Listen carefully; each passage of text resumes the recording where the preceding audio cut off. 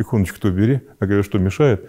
Бери иконочку, тогда будем разговаривать. Одержимость э, не исключает лечение психиатрическое, потому что одержимость чаще всего сочетается с душевным заболеванием. Уныние лечится духовными лекарствами, а депрессия лечится психотропными лекарствами. Любая мысль о самоубийстве, любая, даже такая навязчивая, отдаленная, так или иначе связана с бесовским воздействием. В человеке все должно быть гармонично, дух, душа и тело, но дух должен все-таки быть на первом месте.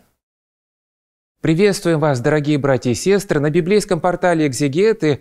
Вот мы сегодня вновь беседуем с дорогим отцом Владимиром, протерей Владимир Новицкий, настоятель храма святителя Николая Чудотворца у Соломенной Сторожки. И вот наверняка многие из вас уже видели нашу беседу. Отец Владимир рассказывал про удивительного старца, исповедника веры, подвижника благочестия, отца Михаила Труханова.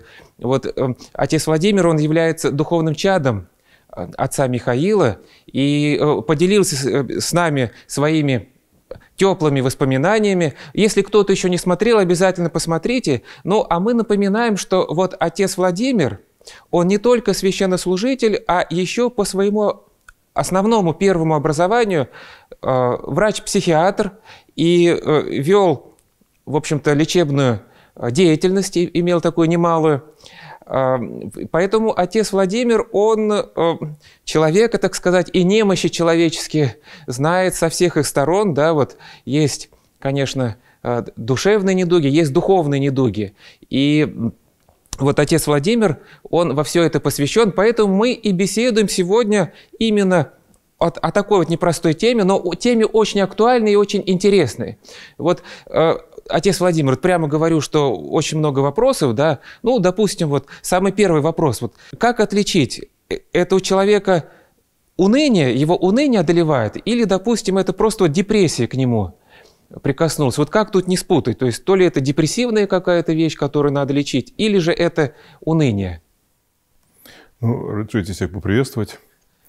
Э, рад, что э, есть такая возможность поговорить о актуальных вещах, которые как-то э, прямо или косвенно всех касаются. Что касается депрессии, я хочу сказать, что все же депрессия – это есть заболевание, это так называемая болезнь 21 века. Депрессия выходит в первые, наверное, места среди других болезней душевных именно в нашем веке – когда теряются наши духовные ценности, когда уходят в прошлое э, просто культурные, семейные, всякие ценности, которые могли бы человека удержать, поддержать. И люди, э, э, безусловно, попадают в такие ситуации, когда хочется одного, а это не получается – когда есть э, свое представление о мире, а мир создан совершенно по-другому, не так, как думается, когда э, хочется какой-то своей радости, своей человеческой, но не Божией, не духовной, и а Господь это не дает. И это все провоцирует э, такие состояния, которые можно назвать вначале унынием, но все же в некоторых случаях э, существуют еще такие болезни, как депрессия. Э, просто дело в том, что уныние лечится духовными лекарствами, а депрессия лечится психотропными лекарствами. Потому что депрессия связана еще с нарушениями э, биохимического обмена.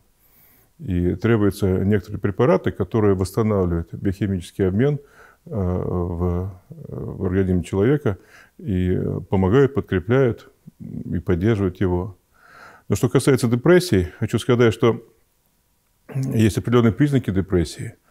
Э, во-первых, беспричинно сниженное настроение. Э, второе – это отсутствие радости и отсутствие вообще возможности радоваться, если так можно сказать. И третье – это э, снижение энергетического потенциала.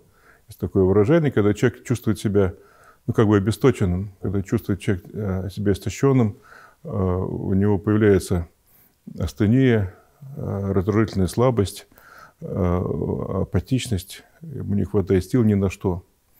И вот когда эти три признака существуют вместе, или хотя бы два из них э, совпадают на протяжении двух недель и больше, тогда можно думать о депрессии, которая требует лечения непосредственно. Конечно, э, тема такая, она э, особая, да, но вот бывает, э, люди даже идут просто к священнику, да, и они начинают пересказывать свое вот состояние, и, в общем-то, священник в каком-то смысле он чувствует, что здесь, наверное, больше вот депрессивное уже такое проявление, нежели просто вот уныние.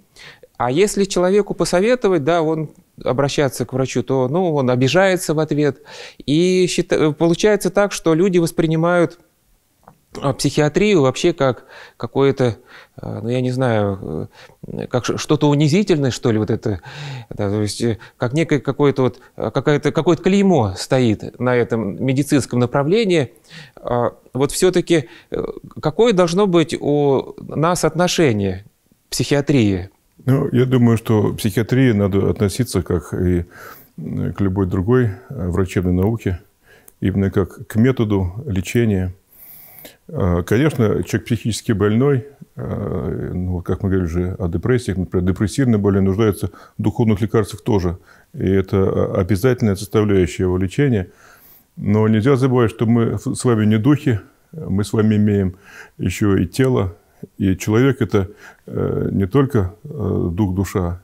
Человек – это еще э, и вместе дух, душа и тело. Это единое целое. Поэтому страдает тело, страдает и душа.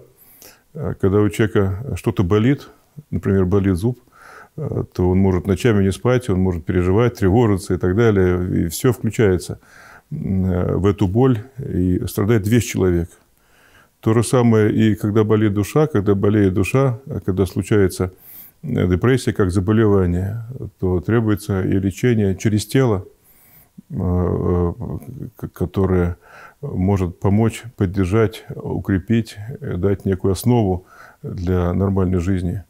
И, конечно же, для духовной жизни прежде всего. Потому что духовная жизнь должна быть на первом месте. То что бывает так, что люди, вот они боятся пойти к врачу, да, а, боятся лечить, и в итоге настолько погружаются в эту астению, что даже сил молиться нет. А как раз, может быть, лечение поможет высвободить ну, нужные силы, дать жизненную энергию, в том числе, чтобы они э, читали нормальные молитвенные правила, чтобы они были полезны дома своим близким, чтобы они могли посещать храм, то есть даже вот в этом смысле, вот, э, так, отец Владимир, или... Как Конечно, э, лечение э, укрепляет, поддерживает, дает некую основу для дальнейшего духовного роста. А у вас в вашей практике, как, уже как священника даже, священническом служении, были ли такие примеры, когда вы видели, что уже как бы с обратной стороны, что как раз вот богослужение и молитва, она укрепляет больных, тех, кто, допустим, проходит лечение вот, ну, в психическом... Безусловно. Так, да. Конечно, конечно, конечно. Э, церковное таинство – это сильнодействующее лекарство, духовное лекарство.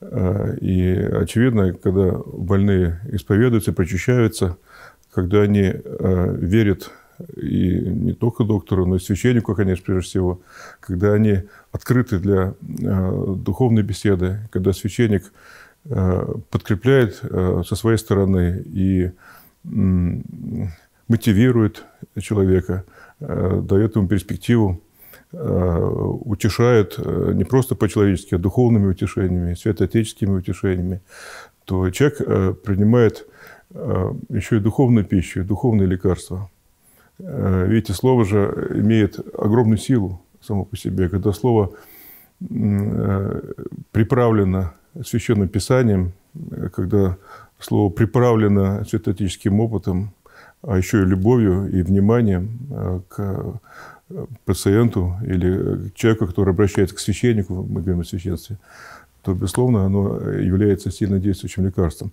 Но это не исключает и другое лечение, потому что страдает весь человек, не только душа, но и тело. Поэтому требуется еще и необходимая врачебная помощь в некоторых случаях. Я знаю, что вы вот, когда стали священнослужителем, да, то совершали молебны психиатрических э, больницах. Вот как это влияло на пациентов? Ну, а, знаете, и сами врачи нам рассказывали – о том, как происходит Э, сначала, когда приходит священник, приходят э, еще и волонтеры, сестры милосердия, то вроде бы э, на них никто не обращает внимания, потому что у всех больных какие-то свои мысли, свои действия. Там кто-то лежит, кто-то ходит, кто-то о чем-то думает, кто-то тревожится. И вот начинается молебен, и, как говорят сами же врачи, в отделении все стихает. Все замедляется, спавшие просыпаются, кто спал не так крепко, ходившие э, подходят э, к месту молебна. И как мы сами замечаем, знаете, удивительно, люди начинают молиться, им это нужно. Они, э, те, кто знает, повторяя слова молитвы, они крестятся, они слушают, они упорядочиваются, они ведут себя совершенно спокойно. И в какой-то момент кажется, что ты находишься не в больнице, а в обычном месте, где-нибудь в храме, или в каком-то доме, где вокруг тебя обычные люди, рабы Божии. То есть нет ощущения необычности. Просто люди, которые молятся рядом с тобой. Так действует умиротворяющая Божья благодать, которая ощутима. И знаете, вот психбольница обладает таким свойством. Многие э, священники, которые ходили туда, рассказывали, что всегда очень трудно настроиться, чтобы туда пойти. Находится тысяча оправданий, чтобы как-то отложить. Может быть, завтра, может быть, попозже. Э, заняты, вроде бы устали. Но всегда после больницы, всегда э, у всех, э, кто молился, у всех будет пасхальное настроение, просто Пасха. Удивительная радость, которую Господь посылает. Дело в том, что э, душевно больные люди, они страдают особенным образом. Их не все понимают, даже родные, близкие могут не понимать. Их трудно терпеть. Они чаще всего чувствуют себя одиноко, им не хватает любви, если э, люди, которые физически страдают, вызывают сострадание, а, сопереживание, то такие люди не всегда вызывают сострадание. Иногда от них хочется просто отделаться, как-то их дистанцироваться от них, куда-то их отправить, где-то их полечить, э, лишь бы от них отдохнуть. И вот когда они встречаются э, с вниманием, с такой некоторой заботой, а самое главное с молитвой, и с Божьей заботой, и с Божьим вниманием, и с благодатью Божией, тогда им становится хорошо и радостно. И эта же радость, она чувствуется и всем, кто молился вместе с ними. Священнику и сестрам, э, братьям, всем-всем, кто помогал священнику, кто в, это, в этом молебне участвовал. А, отец Владимир, вот мне пришла такая сейчас вот мысль, да, из того, что вы рассказываете, что следует, что все-таки если человек старается жить э, в причастии благодати Божией, то э, во многом благодать Божия исцеляет и э, хранит, как бы гармонизирует внутренние силы человека, эм, чтобы он э, не рассыпался там на части, да, если какая-то проблема случилась, а все-таки все, эм, все время держался, потому что он обращен к небесному, высшему. Если человек будет на земной опираться, вот земной развалился и все, опора нет, и тогда у него какой-то внутренний слом идет. А если он именно стремится бескорыстно к Богу, да, то Божья благодать его, она хранит. Но вот все-таки э, Понимаете, вот мы люди на самом деле очень неустойчивы, мы не везде можем соблюсти какую-то золотую середину. Я вот просто помню, что раньше очень много работал в ночь в ночь работал, и потом вдруг замечаешь, что это все равно как-то вот э, влияет на твое состояние, там, или где-то бессонница уже э, начинается, там, я не знаю, входит ли бессонница вот в круг вот э, этой же медицинской дисциплины или не входит, или там еще что-то. То есть иногда мы своим неразумным от, э, поведением сами наносим удар своему здоровью, но абсолютно все люди боятся а вот диагнозов именно психиатрических. Вот как мы сказали, что это рассматривается как какой-то такой страшный штамп. И, э, вот вы как человек, который э, уже вот и имеет полную осведомленность в психиатрии, да, и как священнослужитель, вот можете ли вы сказать, как человек должен э, жить, чтобы избежать психических расстройств? Что может служить вот основными причинами таких расстройств, да, и из-за чего это случается, вот эти вот психические сбои, и э, как нам поступать, чтобы этого избегать? Ну, Башка, мне э, очень понравилась ваша мысль э, насчет того, что Божья благодать, она как бы упорядывает человека а, она структурирует его, если можно так сказать, она животворит, она, она его меняет, преображает во всех планах. И вспоминается мысль святителя Аксентия Херсонского. Он говорил то же самое. Он говорил, что человек без благодати Божией подобен Э, своему сну. Вот когда э, снятся сны, они бывают какие-то странные, нелепые, порой безумные. То есть человек как будто не имеет центра тяжести. Он э, как бы рассыпается в этих снах, он метается, как, знаете, как воздушный шарик под действием ветра. И так и душа без благодати, она мечется, она не имеет центра, не имеет вот этого утяжелителя, не имеет четкости. И это касается и не только снов, это касается и обычной жизни. Когда человек не имеет благодати, он теряет ориентиры. Он как тот воздушный шарик, как перекати поле. Он путается в жизни. И, безусловно, он, страдая и ропща на эти страдания, не понимая, для чего он страдает, что с ним происходит, э, э, он болеет. Он болеет сначала духовно, а в некоторых случаях для его спасения э, Господь попускает и душевные заболевания. Душевные заболевания все же это крест, скажем так. Душевное заболевание – это попущение Божие. Душевное заболевание – это возможность человеку спасти через несение этого креста. Если он будет нести его безропотно, если он будет нести со Христом, идя за Христом и делая э, то, что Господь заповедовал делать э, здесь на земле. Как нам избежать душевных заболеваний? Какая профилактика? Но вот, э, опять же, благодатная жизнь, прежде всего. Не терять центра тяжести, не терять стержня, не терять направление жизни, не терять границ своей личности с точки зрения того, как задумал нас Господь. Не терять Христа из виду, идти за Христом, следовать за Ним, любить Христа, любить людей во Христе. Вот это самая лучшая профилактика для того, чтобы нам не заболеть душевно. А там, как Господь попустит. Знаете, это не всегда зависит от человека. А, вот иногда Э, человек по тем или иным причинам, там жизненные какие-то удары, да, или действительно перенагрузки, или еще что-то, ну, в общем, у него уже наступило какое-то расстройство, и то ли вот сильная депрессия, то ли еще чего-то, и он думает, ну все, вот я погиб, что э, он там не может управлять своими мыслями, допустим, да, или эмоциями, и у некоторых людей у них э, какое начинается к этому отношение, что вот я уже точно погибну, что я там попаду в ад, что смысла никакого такого нет, то есть полная такая беспросветность наступает. И вот вопрос отсюда следует какой? А, само по себе психическое расстройство означает ли, что человек, он и в духовном смысле уже какой-то ущербный, и точно вот он, значит, погибает, что непременно он там э, в ад пойдет из-за того, что он, у него такое расстройство? Ну да, надо сказать, что э, человек, который болеет душевно, э, он несет свой крест, как я уже сказал. И э, крест он э, не разрушает, э, если нести его без ропота. Если нести его с ропотом, он разрушит. Он будет непосильным. Если нести его без ропота и со Христом, тогда крест станет спасительным, он станет как бы лестницей к небу. По нему можно подняться над земной жизнью, подняться над страстями, избавиться от грехов, подняться в мыслях, в чувствах. Но для этого нужно потерпеть. Если человек благодушно терпит, это приравнивается к великому подвигу, так учат святые отцы. Надо просто э, терпеть не, э, э, не ради себя, не ради каких-то идей, а ради Христа именно. Когда это терпение будет спасительным.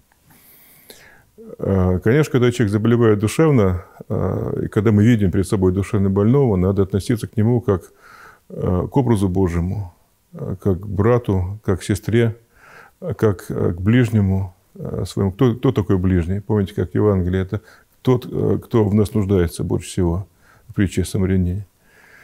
Этот человек нуждается в помощи, нуждается в сострадании, нуждается в терпении, чтобы мы ему помогли своим присутствием, своей молитвой – для нас это брат или сестра, а для нас это человек, которого мы должны возлюбить э, как самого себя. Так хочет Господь от нас.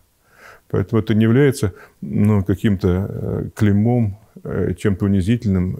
Это перед очами Божьими, знаете, это бывает напротив выше, чем может быть какой-нибудь как будто бы здоровый человек, в кавычках, но который живет в страстях и грехах.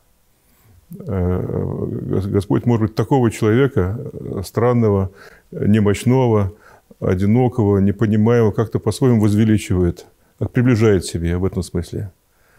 А, может быть, э, человека как будто бы здорового, который далек от духовного понимания жизни, а, ну, не может себе приблизить, потому что человек сам этого не хочет.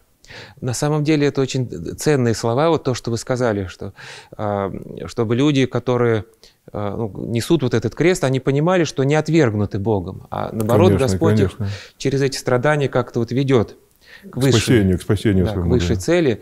И я вот вспомнил, как святитель Лука Воиносинецкий, он э, рассказывал Э, ну вот э, известны его воспоминания «Я полюбил страдания», и где он э, рассказывает о том, какие он гонения перенес, и там вот эти вот заключения, многочасовые допросы, когда следователи сменялись, да, а значит, его продолжали, а ему не давали спать, и продолжали его допрашивать, и потом вот эти ссылки изнурительные, и эм, то есть полный такой, до полного износа нервной системы. И потом, когда вот он прошел, он говорит, что вот он сам у себя диагностировал э, неврастению, неврастению и видел вот эти признаки и говорит, что э, вот это вот прошло потом, когда он уже вернулся к служению литургии за счет регулярного совершения э, божественной литургии, вот у него это прошло. Но Тут самый интересен факт, что даже у святого человека вот могли быть вот такие сбои здоровья, потому что ну, очень тяжелые были обстоятельства. Однако это не означает, что человек отвергнут Богом. Все равно Господь его ведет и, э, к спасению. И святитель Лука, он получается, он наш небесный покровитель, и в том числе э, тех, кто страдает самыми разными недугами, так что ему вот и в этом отношении тоже можно было бы молиться. Конечно, конечно. Вообще душевное здоровье э, – это возможность человеку адаптироваться э, к трудным условиям, к стрессам, э, к скорбям, если говорить о духовных вещах, к гонениям, к, к искушениям, которые, которые его пытаются одолеть. И вот когда человек правильно адаптируется к этому с Божьей помощью, тогда он здоров. И знаете, образец здоровья – это новомученики, исповедники российские, например – это люди, которые находились в тяжелейших условиях, но которые смогли к этим условиям адаптироваться и не терять присутствие духа, не, терять веры, а, а воодушевляться в своих страданиях и, и оставаться верными Христу до конца. Вот идеал психического здоровья. Ну, вы знаете, вот поскольку у людей обычно такое складывается представление, что а, психиатрия это какая-то вот немножко страшная такая наука, то и людям кажется, что когда на тебя смотрит психиатр, он непременно видит в тебе какое-то заболевание. И поэтому показаться на глаза к психиатру э, многим людям просто вот страшно. Ну, я думаю, что это из области мнительности. Э, психиатры, ну, такие же люди, такие же врачи. Но единственное, что у них нарабатывается некая интуиция, которая позволяет им чувствовать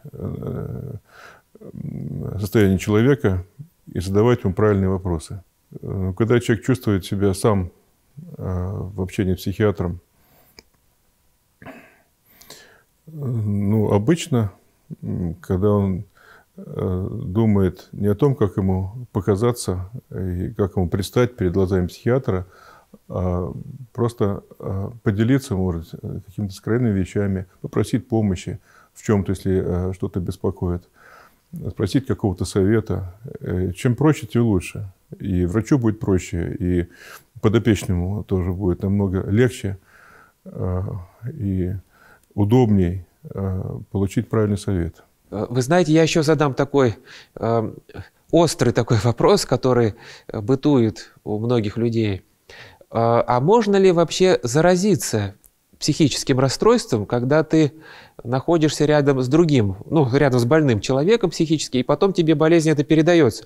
И отсюда вот бытует такое же мнение, что вот, э, ну, простите, что я вам такое говорю, что врачи-психиатры, которые постоянно вот в психиатрической больнице находятся, что в конечном итоге якобы они потом и сами этим же и заболевают. Ну, вот бывает такое вот у некоторых у людей представление, что там вот они все, так сказать, вот этим заражаются, Лучше сказать, наверное, что иногда психиатрией интересуются люди, которые имеют какие-то свои немощи, э, какие-то особенности, может быть, своей душевной жизни. И, может, такие врачи могут избирать себе психиатрию как направление своей работы. И поэтому они вот кажутся странноватыми, может быть, в некоторых случаях. Ну, э, э, все же, видите, общение с душевно больными людьми – это всегда определенная нагрузка на психику человека, на психику врача, ну и всех, всего персонала больницы. А как преодолеть эту нагрузку или как понести это? Общаться с больными с любовью. Вот любовь – это самое лучшее. Когда ты а, видишь не пациента, а видишь страждущего, и тебе, а, тебе его жалко, тебе хочется ему помочь, тебе хочется его подкрепить, поддержать, то там, где любовь, там, там и Господь. И Господь подкрепляет врача. Я знаю многих врачей, которые приходили к вере через психиатрию. Вот, например, я работал э, э, с моей заведующей, и э, наши обходы напоминали иногда проповеди Евангелия. Э, больные уставали, и персонал даже садился на кровати с больным, потому что заведующая, когда пришла к Богу, она часто цитировала Священное Писание – и все больные слушали. Были мини-лекции в каждой палате. Обходы длились часами буквально. И никто не уставал. Удивительный пример. Но я вот на самом деле задал вопрос, который бытует у, людей, а у меня лично сложилось другое представление, что, ну я просто знаю вот некоторых э, врачей-психиатров, которые, некоторые даже по 50 лет вот, трудились в этой сфере, и они настолько уравновешенные, настолько вот у них э, никаких вот эмоций лишних нет, что мне показалось, что они не только не способны заразиться. Наоборот, у них какой-то вот иммунитет и устойчивость выработалась, что никакие психические заболевания к ним просто вот не могут прилипнуть. Ну, я думаю, что так и есть, да. Я знаю многих а, потомственных психиатров. Я сам тоже потомственный психиатр. У меня папа психиатр, папа, мама, а, брат. Все покойные, к сожалению. Сын у меня психиатр тоже. И дедушка у меня Правда, не психиатр, а терапевт по маминой линии. Ну вот я хочу сказать, почему а, а, эта династия у нас зародилась. Папа ветеран, много повидал на войне, он из семьи офицера. И поступив в медицинский институт, я думаю, что поиск а, понимания душевной жизни, поиск понимания, как пережить все, что он видел на войне – я думаю, подтолкнуло его к тому, что он выбрал это направление, а потом за ним уже э, зародилась наша династия. И многие психиатры, которых я знаю, которые работали много лет, действительно, как вы сказали, люди достаточно равновешенные, потому что они, преодолевая трудности общения с душевно больными, все же донесли э, в течение всей своей профессиональной деятельности любовь к ним и сострадание к больным – это помогло им самим укрепиться и укреплять своих подопечных. Отец Владимир, а, есть вот еще такие вопросы, они немножко, а, ну, такие вот, может быть, своеобразные, но людей это интересует. Вот когда у человека случился какой-то сбой, да, он ведь э, выпадает из привычного ритма жизни и уже не выполняет на работе своих функций и дома, допустим, там у него апатия, не может с детьми заниматься, еще э, нервозным становится. И многие, ну не многие, но некоторые, допустим, родственники, вот они смотрят и говорят, ну, наверное, э, там порчу кто-то навел на этого человека, околдовал его кто-то, или он стал там одержим бесом. И вот это мнение, оно э, бытует, что психическое расстройство – это форма одержимости демонической силой. Вот так ли это? Ну, э, Видите, э, конечно, э, сила вражия, она не оставляет человека никогда. И когда человек особенно слаб, когда он болен, то поступает к нему, наверное, с удвоенной силой. Помните, как Господь постился в пустыне 40 дней, напоследок закал, и тогда приступил к нему дьявол. Вот такой образец дьявольской шизофрении. Он не понимает, кому он поступает и что он хочет. Он пытается искусить самого Спасителя, не понимая, что он делает до конца. И, конечно, был посрамлен. И когда человек болен, э, если уж Господь подвергался искушениям, то человек, любой человек, и каждый из нас подвергается таким же искушениям. Но когда мы э, больны, э, тем более, когда человек душевно болен, но он особенно открыт, может быть, уязвлен, и, и, и бывает особенно немощен. И ему трудно противостоять нечистой силе. И поэтому, когда больные высказывают – такие вещи, когда они слышат голоса, которые э, не просто являются какофонией, хаосом, а которые подталкивают его к плохому. Это безусловное влияние нечистой силы. Человеку это не свойственно. Но голос заставляет его, там, например, совершить акт агрессии там, какой-то, да? Или повести себя неприлично, или там покончить жизнь самоубийством.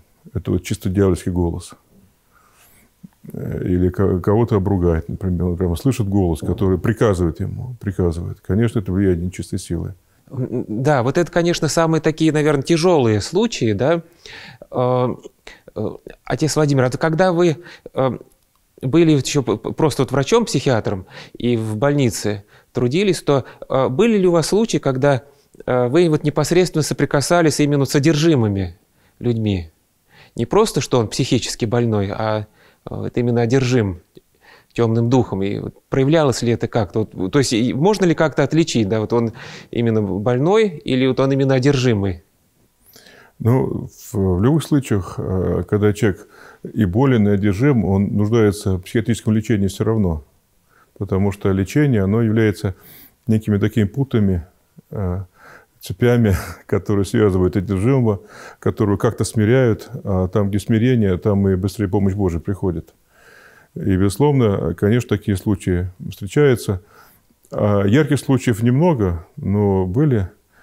И в моей практике тоже. Например, я вспоминаю, когда я э, принимал одну больную, я сижу за столом, у меня пачка истории болезни, и за историю болезни маленькая комнаточка. Я всегда перед началом беседы с больной всегда молился, чтобы Господь как-то вразумел, э, дал правильное понимание диагноза, э, дал правильное понимание, как человеку помочь, быстрее помочь. И вдруг она, которая сидит, э, больная, которая сидит намного ниже, чем мой стул, она где-то в стороне, она не за видит столом икону. она не видит, она не видит, она видит только горы истории болезни, и там где-то где я за историей болезни. И вдруг она говорит, ты, говорит, иконочку-то убери, иконочку-то убери. Я говорю, что мешает? Бери иконочку, тогда будем разговаривать. Потом, э, а вы что думаете, мы креста боимся? Мы, э, во множественном числе.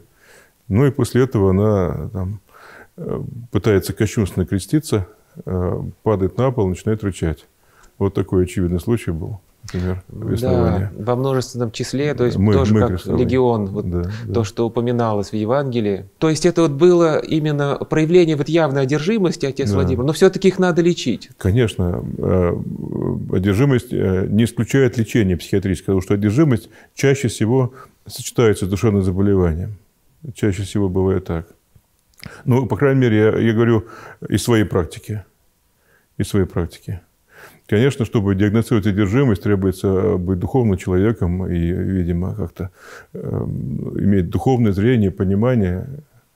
Э, поэтому это особое дарование, которое бывает у святых людей. Но тот случай, который я сказал, ну, я думаю, что это очевидный э, пример одержимости. А, отец Владимир, а вот э, что приводит э, подобной одержимости. Ведь людям же надо знать, чего беречься. И, может быть, ну, и, э, я просто вот из того, что мне самому известно, пришел к выводу, что во многих случаях э, здесь оккультизм, вот оккультизм, обращение оккультизм, да. к темным оккультным силам является виной. Вот у вас, у вас в вашей практике медицинской э, такое вот было наблюдение? Знаете, мы даже использовали такой термин «оккультная болезнь». Оккультная болезнь. Он такой неофициальный, но вот чем характерна оккультная болезнь, что она бывает всегда после обращения к оккультистам, во-первых, или после занятия оккультизмом. А во-вторых, она э, имитирует э, классическую э, психиатрию, то есть это какие-то признаки как будто бы шизофрении, или какие-то депрессивные проявления, или навязчивые страхи. Но они очень полиморфные, они стертые, и человек имеет полную критику, он понимает, что с ним что-то происходит не так, он понимает, что он нездоров, и он так или иначе находится под воздействием своих оккультных мыслей. Он уже мыслит оккультно, он уже ищет э, способы излечения через оккультизм или э, через какие-то суеверия и так далее. У него перестраивается мышление. То есть это некая особая форма болезни, которую так условно врачи, которые с ним сталкиваются, называют оккультной болезнью.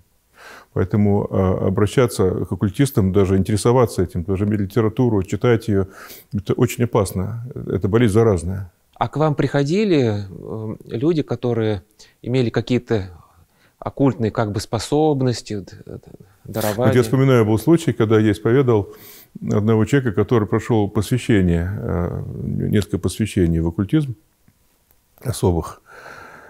И э, Сначала он не мог подойти к исповеди.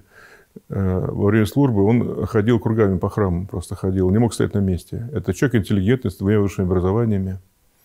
Не то, что он какой-то там слабоумный, но он не мог себя успокоить. Ему надо было ходить, двигаться. Он, конечно, мешал богослужению, но тем не менее, вот как-то его терпели. Прошло несколько дней, он ходил подряд. Ему хотелось исцелиться. Потом он решился подойти на исповедь. Когда он исповедовался, то э, я помню, было ощущение какого-то очень э, такого глубинного холода, который из него, из него исходил. Я говорю о своих переживаниях, о своих ощущениях только. Мне трудно здесь какую-то закономерность э, заключить. Но я помню, что мне пришлось пойти в гардероб, набросить на себя зимнюю одежду – а это было, это было зимой, это было зимой, в храме было тепло, даже жарко, даже жарко. Но мне пришлось оде... сверху набросить на себя зимнюю одежду и, и только немножко согреться, и после этого я смог с ним нормально разговаривать. Потом, когда он ушел, все прошло сразу, холод прошел. Ну, есть... И он перестал ходить кругами после исповеди, что удивительно. Есть такое понятие тартар леденящий. Да, да. То есть не да, только да. гиенский огонь, но и тартар леденящий. Видимо, вот когда эта сила темно охватила человека, она как-то проявляла себя. Но, слава богу, у него э, прошло, да, вот это? Прошло, да, прошло, конечно. После исповеди. Да. Но вот этот человек, у него, э, он непосредственно занимался, да, а если э, человек вроде бы не занимается, а просто вот, ну, там, проявил внимание какое-то к оккультным ритуалам, э, действиям, э, на него может тоже как-то разрушительно повлиять это?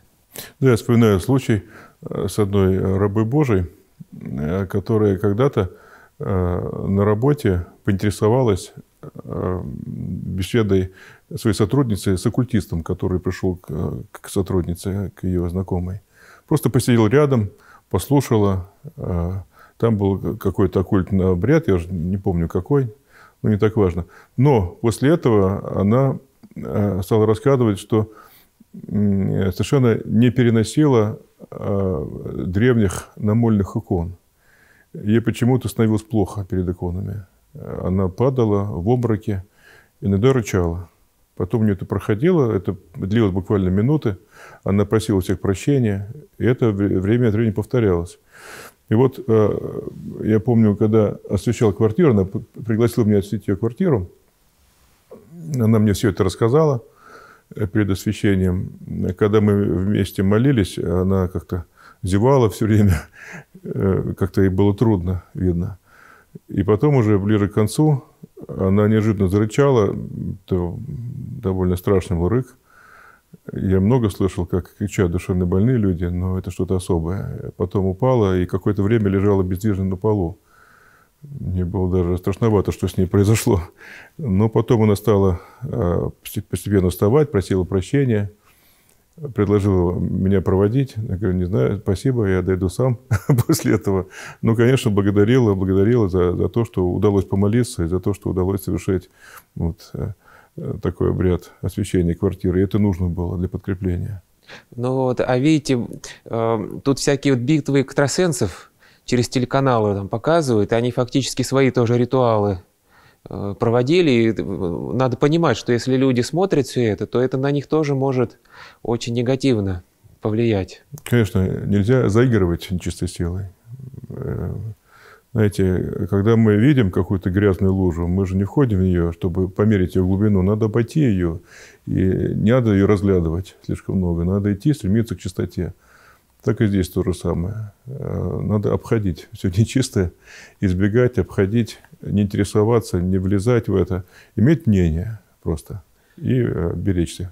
Отец Владимир, я вот знаю, что когда вы еще трудились в психиатрической больнице, то к вам на прием приходила женщина, которая профессионально занималась оккультизмом и была как бы ясновидящая, ну, как бы одаренная, в кавычках одаренная от тех темных сил, вот могли бы вы рассказать про этот случай? Да, был случай, когда в больницу обратилась э, одна интеллигентная женщина, э, которая получила такой, в кавычках, дар ясновидения. Как она его получила, я уже не помню, э, после, после чего, но неважно. И она подсказывала людям, занимавшимся бизнесом, правильные ходы, правильные решения – у нее были свои подопечные, свои клиенты. И она слышала голоса, которые ей говорили, в кавычках, правильные э, какие-то, как ей казалось, советы.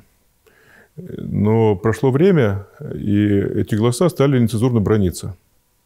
Поскольку она была женщина интеллигентная, очень такая утонченная, и это, ей это не понравилось, и иногда ее подопечные что-то спрашивали, и тут у нее возникали эти помехи, которые спрашивались руганью. И ей приходилось э, краснеть, э, там, вот ждать паузу.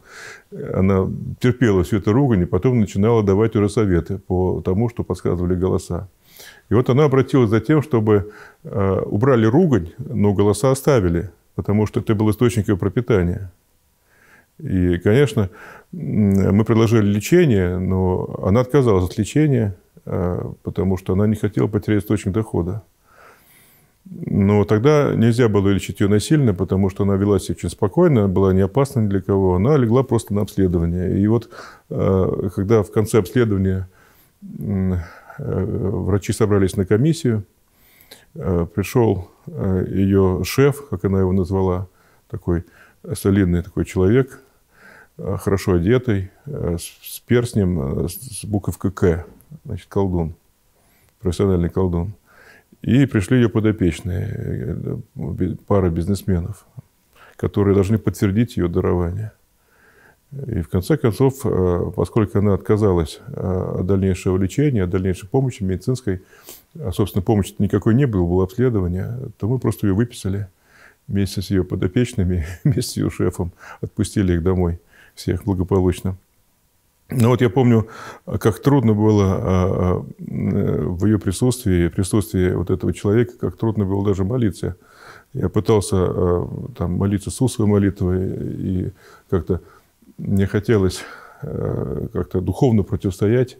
Но я помню, вот как было трудно, вот как, какой-то был, вот, как я уже говорил, холод, как в том случае, и какое-то внутреннее вернее, не внутреннее сопротивление, а какое-то духовное сопротивление, которое от них исходило, это даже трудно описать. Это было очень духовно трудно находиться с такими людьми.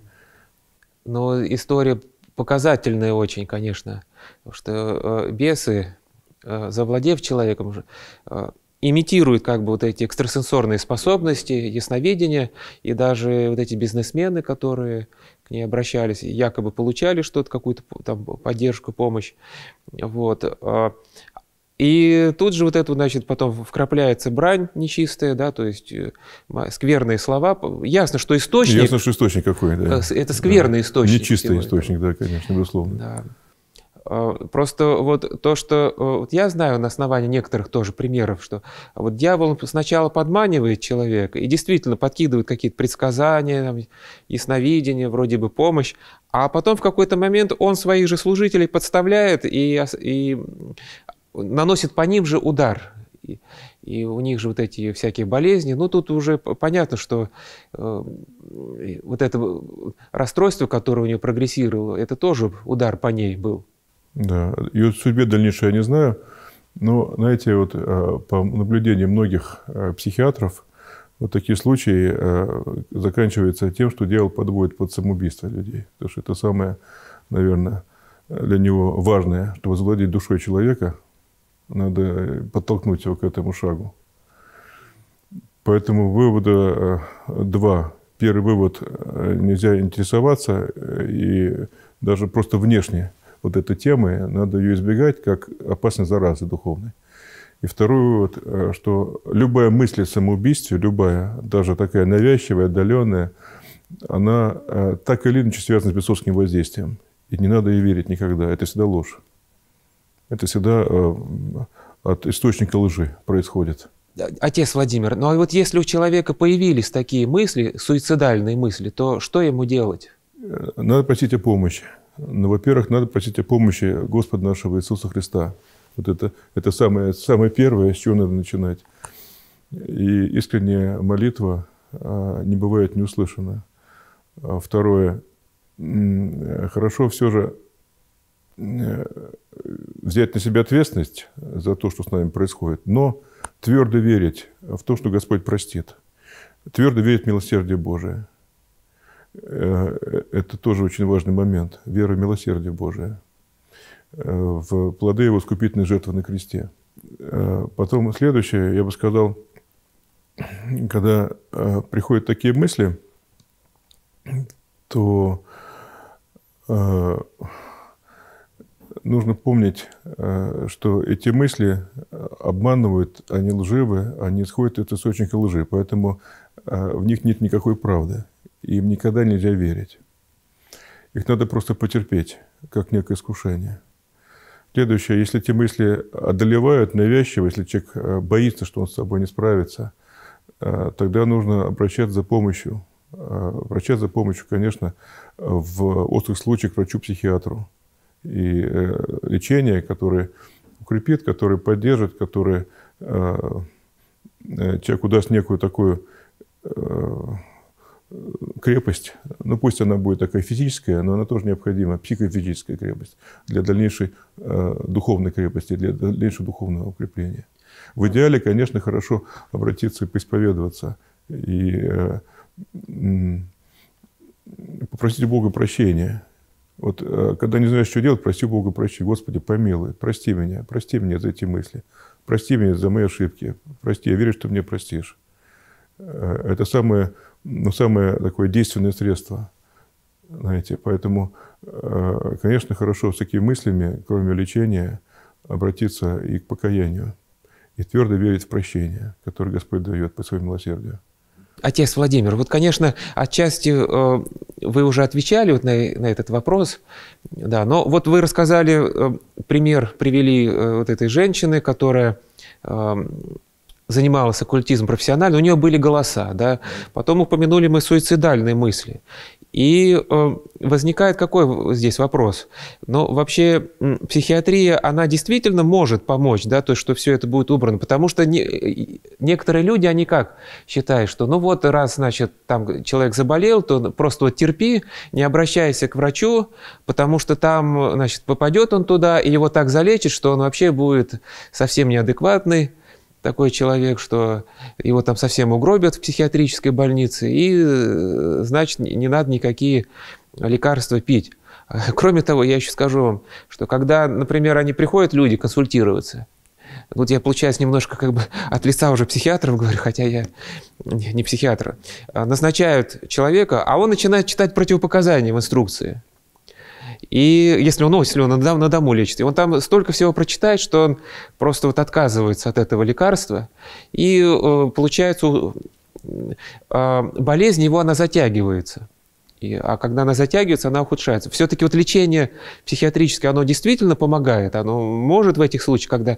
Ну, понятно, что вот эти ситуации, они слишком э, такие самые, может быть, сильные. Конечно, конечно, помочь можно. Но, во-первых, при депрессии э, можно помочь в 100% случаев. То есть не бывает неизлечимых депрессий. Депрессии все лечатся от начала до конца. Неизлечимых не бывает. Это просто гарантированно. Что касается голосов, э, острый случай лечится хорошо, как ни странно. Чем острее случай, тем э, лучше он лечится и быстрее проходит. Знаете, можно сравнить с пожаром.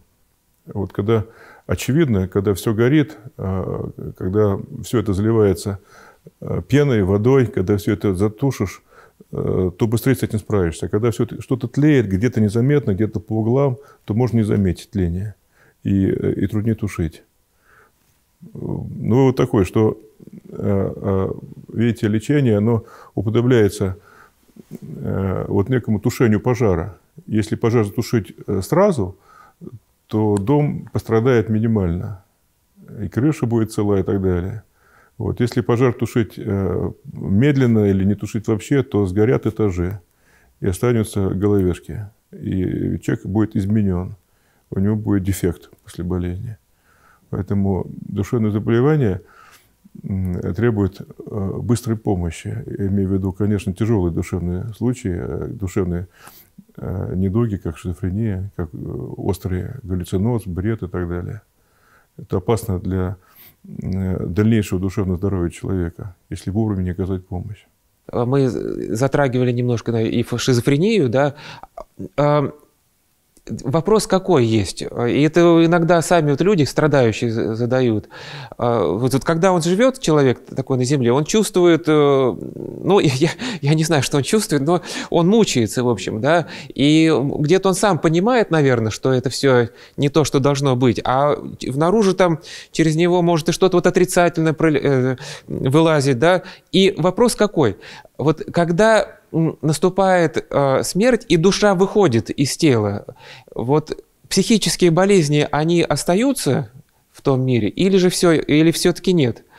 Э, и душа такого человека, она вот как себя будет чувствовать после расставания с телом? Ну, я думаю, с временем мы об этом узнаем.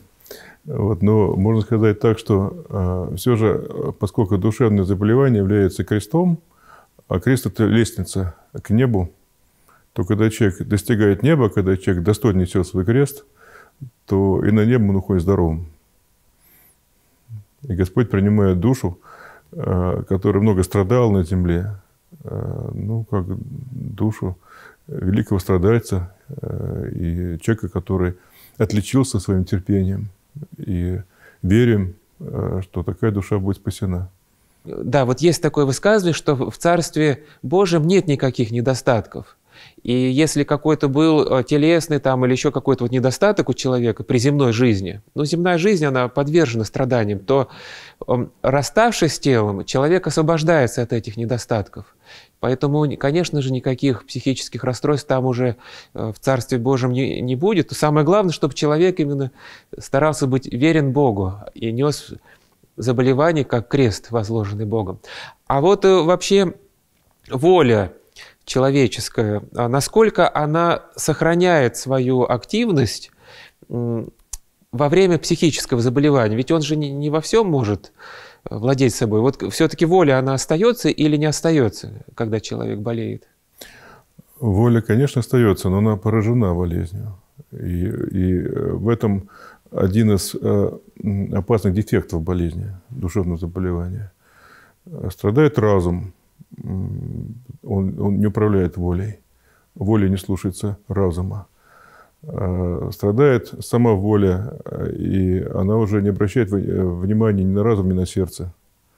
Страдает сердце э, душевного человека, которое может выхолачиваться и ничего не чувствовать или чувствовать плохое – об этом говорил святитель Феофан Затворник, о таком рассогласовании разума, воли и сердца в душевно больном человеке.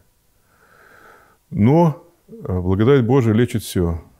Лечит и волю, лечит и разум, лечит и сердце.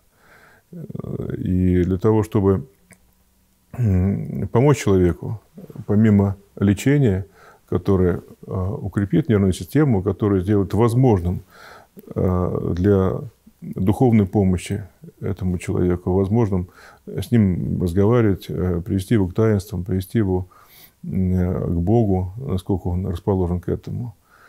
Я думаю, что после лечения уже можно помочь человеку и духовно.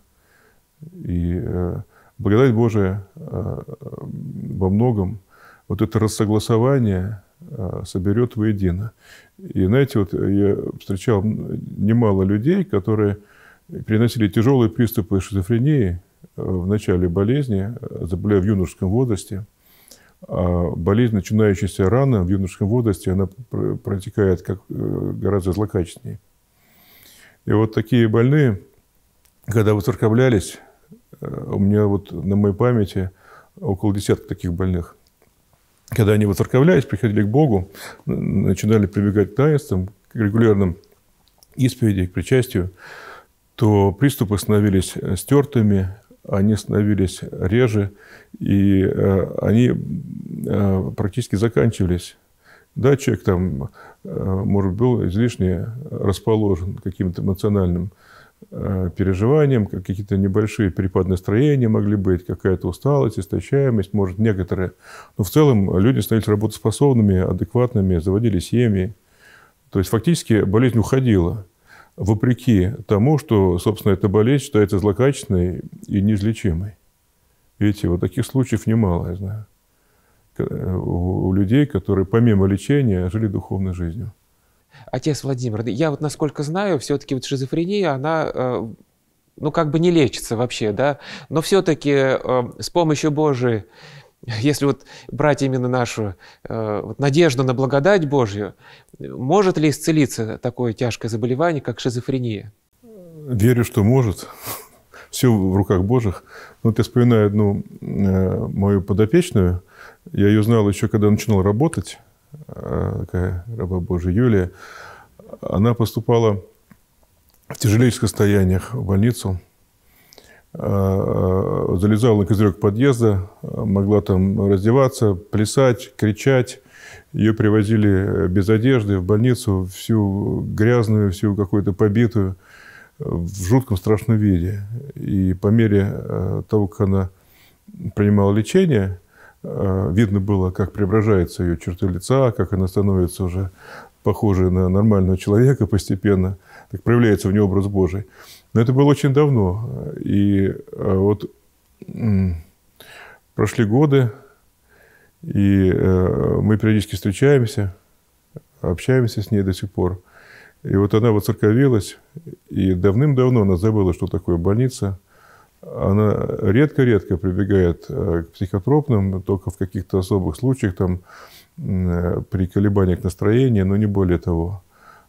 Она поет в церковном хоре, э, она работает, она совершенно социализированный, нормальный человек, не скажет, что она когда-то была больна. Хотя были тяжелейшие приступы душевного заболевания в ее молодом возрасте, которые, казалось бы, должны привести к дефекту, Э, к инвалидности, к такому тотальному поражению, но этого нет. Вот так благодать Божия лечит человека. Человек преображается. Но это очень положительный такой пример. Слава Богу, что такое, э, что, что такое Господь подает нам. Но бывают, конечно, и примеры отрицательные, когда человек, э, вот, охваченный болезнью, да, он совершает какое-то преступление – Э, не владея собой. Вот, э, отец Владимир, уже как священник, вы как вот вы оцениваете такие ситуации? Насколько человек э, несет духовную ответственность за поступки, совершенные в состоянии психического расстройства?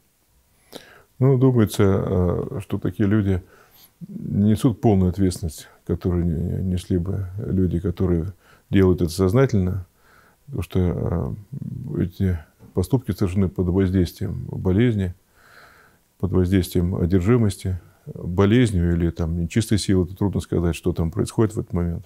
В любом случае, э, надо думать, что эти люди освобождаются от такой канонической ответственности, обычной для всех. Ну да, насколько сознание захвачено, настолько человек, настолько и, человек да. и не отвечает, отвечает уже за поступки. Да. И в этом как раз и одна из необходимостей лечить таких людей, чтобы не доходило до подобных правонарушений. Э, отец Владимир, конечно, вопросов много, и они очень разные, но вот э, я так спрошу. В общем-то, бытует мнение, а может быть, оно так и есть на самом деле, что каждый человек, вообще любой человек, какого ни возьми, он в какой-то мере э, психически тоже поврежден. И вот здоровых людей нету, потому что нет вообще понятия самого Психиатрия, ну я так слышу, якобы психиатрия, она не знает понятия здоровья, а только знает понятие болезни и расстройств разных. Вот так ли это? Точно ли, что каждый человек, он так или иначе чем-то болен психически. У кого-то какая-то фобия. Ну, действительно, сейчас столько фобий. Там, кто чего боится. Там, там, кто там лифтов боится. Ну, раньше лифтов не было, да. Никто не знал, боится он или нет. Кто-то там пространств замкнут, кто чего. Ну, э, психика человека, конечно, э, немощна, без Божьей благодати особенно это проявляется. И, конечно, у нас могут быть какие-то реакции э, на разные трудности, на разные стрессы. Но бывают реакции нормальные, бывают болезненные. И вот в психиатрии на самом деле существует понятие нормы, вопреки расхожим мнениям. Норма, собственно, что такое норма? Это совокупность установок, Э, э, душевных свойств, способностей человека, э, которые помогают ему адаптироваться в разных трудных условиях жизни. Если у человека есть вот этот правильный набор, то он переживает всякие кризисы, которые нужно переживать, всякие испытания, которые нужно преодолеть, всякие события, которые происходят в жизни, независимо от нас. Что не бывает э, жизнь совершенно ровной. Э, жизнь всегда меняется. Меняется ее направление, меняются обстоятельства. И человек, который э, обладает вот этими свойствами правильными, правильным подбором, как Дмитрий Евгеньевич Мелехов говорил, еще такой известный психиатр, сын священника, он говорил, что в человеке все должно быть гармонично, дух, душа и тело, но дух должен все-таки быть на первом месте. Вот это все гармония, когда все это воедино, это поможет преодолеть любые трудности, любые испытания. Это норма.